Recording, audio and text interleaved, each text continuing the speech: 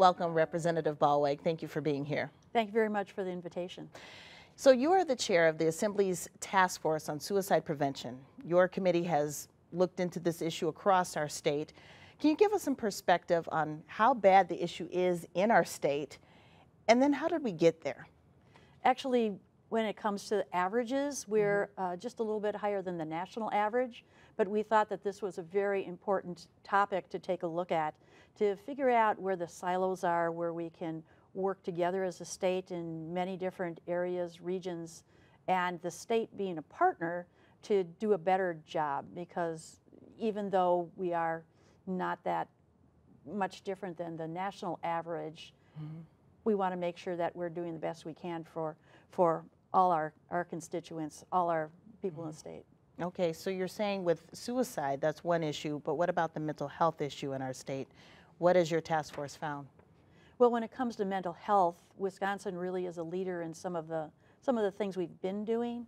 Uh, the first task force on mental health was back in 2014, so we've been able to move on from from that area, and and we've heard from other states that we do we are a leader in many of these issues. Some of the things that other states that have had to tackle when they wanted to talk about suicide prevention, we already have in place. We've done a lot when it comes to uh, school safety in the package that came out last year. One of the things that they talk about in suicide prevention was also the idea of trauma-informed care that Wisconsin has been moving forward with in the in the last couple of years. I think the biggest thing we need to think about when it comes to suicide prevention is the stigma regarding just reaching out for help when it comes to behavioral health and encouraging uh, everyone uh, that their friends and family should be asking for help if needed. Mhm, And that's a perfect uh, entree into the reason why that PBS and Milwaukee PBS has taken a closer look at this. Our documentary, Kids in Crisis, You Are Not Alone, you mm-hmm. saw that, and it had four young people speaking honestly and candidly about their struggles with mental health and the challenges that they've had and even thoughts of suicide. You saw that documentary.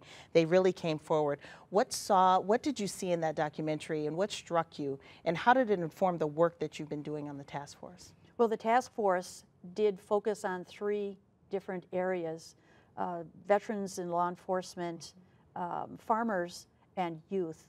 And what we did with the uh, documentary, actually doing a screening at one of our public hearings, the one that we held in Ripon College, to focus on youth, both K 12 and higher post secondary higher education. And we had a screening of the documentary. The thing that, um, that these young people have um, put together in trying to show their resiliency and the things that the PBS documentary has helped us do is, in a very concise way, gone through their struggles, uh, how that started, how they are continuing to um, address those situations, and how they've really become advocates when it comes to suicide awareness, especially for youth. What they've been doing in their own schools, um, promoting peer to peer organizations and actual resiliency training, also. They are just a delight to, to work with, and I think we're very appreciative that they've been able to step forward and talk about this in a way that will relate to young people. So what I'm hearing from you is that the Milwaukee PBS documentary put it into a more of a nutshell that people can try to see themselves into whereas it's such a vast spectrum but mm-hmm. within that documentary they covered the spectrum in a way that's maybe not resonated with other people before. Exactly, to, for them to be able to tell their personal stories and lived experience. When it comes to legislators, we do react to those stories, and those are very impactful. And so the, the process of the task force is to take those stories and what we've heard from those young people, farmers, other people in the communities as to how we can make things better for the next person that maybe has that uh, behavioral health concern, that suicidal ideation. What worked for them and what they suggest we could maybe do better. And it really connected because you've invited our producers who produced that documentary and the young people who were featured in the documentary. You invited them to Madison. Why'd you do that? because I think that the, uh, the general population and the rest of the legislature and staff in Madison should have the same opportunity that our task force had when these young people came up to Ripon College and testify and show the documentary to our task force.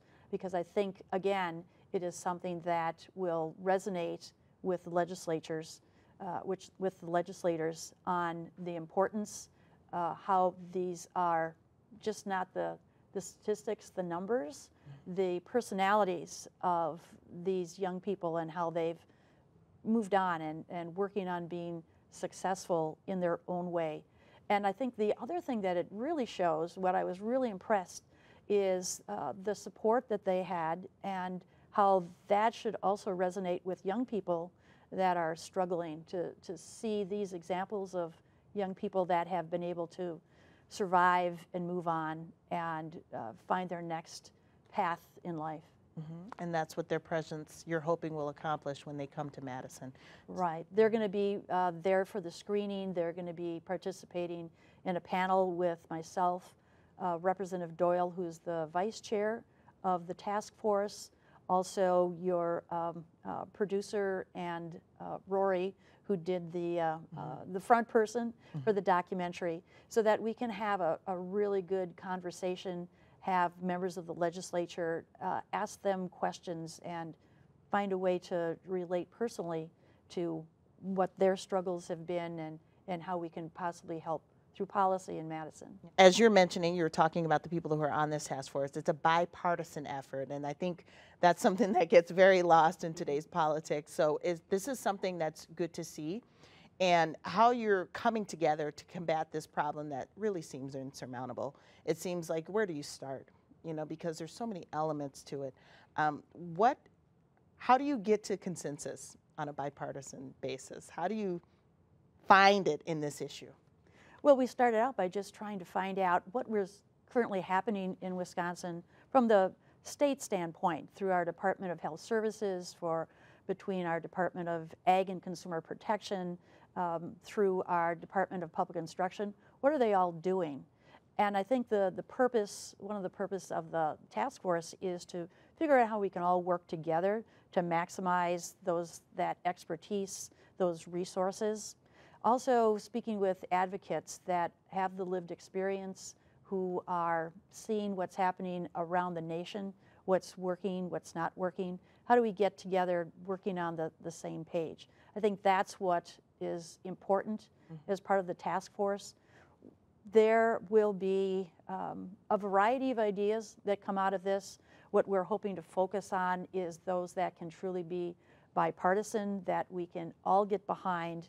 Uh, maybe it isn't going to be everything that everybody would want, but I think we'll come up with a pretty good package of things that will move this whole concept of suicide prevention forward in Wisconsin. Well, why was this the issue that brought people together on both sides of the aisle in the legislature?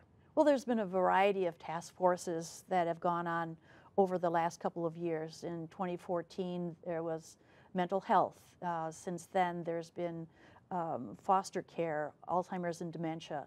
Uh, this year, there's one on adoption, there's one on water quality. This happened to be something that was an interest of mine uh, that my office started researching almost two years ago. And we started developing what kind of policy initiatives could we bring forward to the legislature. And in talking with the speaker about it, we thought this would be a perfect, uh, a perfect idea for a task force to bring more members together to take a look at what is actually happening uh, in this particular area, something that we can do in a bipartisan fashion moving forward. I think it's important for all of us to realize that whether we're Republicans or Democrats, at the end we all have concerns over our fellow Wisconsinites that are suffering from, from suicidal ideation, from mental health crisis. Is there anybody on this task force that has a personal connection to this? Well, there are several, and uh, a couple of them have mentioned it, and I let them add that. I have I have no um, personal um, uh, personal story to tell when it comes to that. Just a just a basic interest in moving forward in what's best for Wisconsinites when it comes to uh, mental health. One of the things we've heard in uh, all our discussions is from the 2014 task force onward is the stigma regarding uh, behavioral health issues. Our meeting in Eau Claire just a couple of weeks ago, people started talking about normalizing the discussion around uh, behavioral health. And I think that is the direction we should be moving into, understanding that people need help, whether it uh, has to do with some kind of chronic uh, health condition that they may have or something on the behavioral health spectrum that there is help for and, and find ways that we can um, encourage people to, to reach out. Has the task force found why there is that stigma in today's day and age? That's a, that's a good question. I think that is something that is typically uh, misunderstood by many people, that there is treatment. That's why I think one of the things that we're encouraging people to get involved in is the QPR training that we've, we're going to be doing at some of our task forces and, and when it, we roll this out on the uh, 25th uh, at the state capitol. QPR is uh, question, persuade, refer. It's considered the CPR of mental health.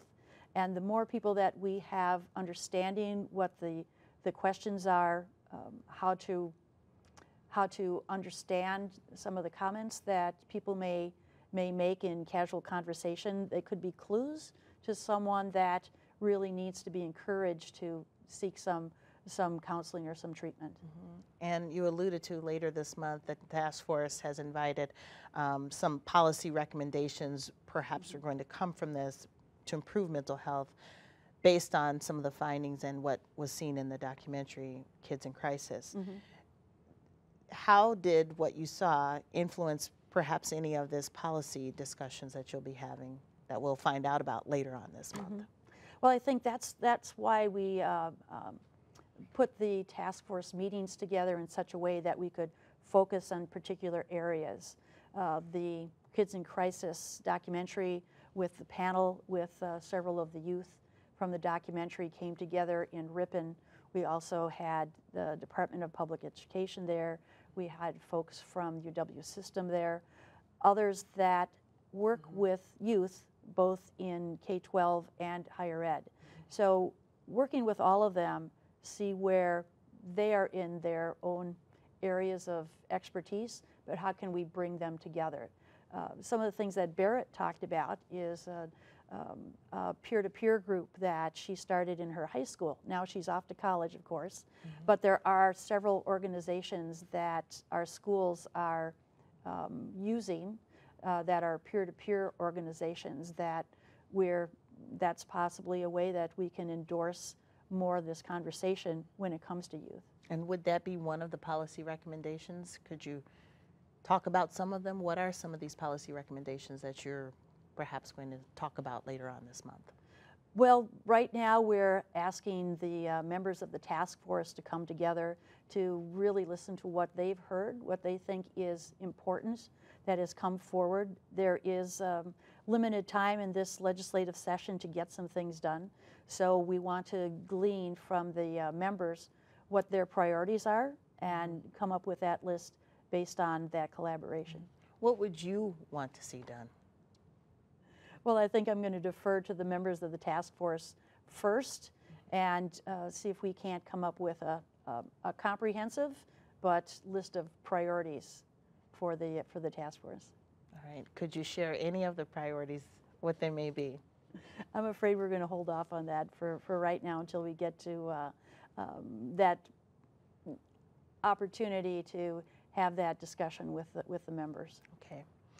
Well, thank you very much. State Representative Joan Ballweg, thank you for being here and thank you for um, your time and for taking the time to watch Kids in Crisis. You're not alone. Well, thank you very much for having us, and thank you to, to you and uh, PBS and the Milwaukee Journal Sentinel for putting together such a powerful documentary. And, and you know, thank you to TJ, Rena, Alex, and Barrett for having the, having the, the strength to, to uh, move on um, through their crisis.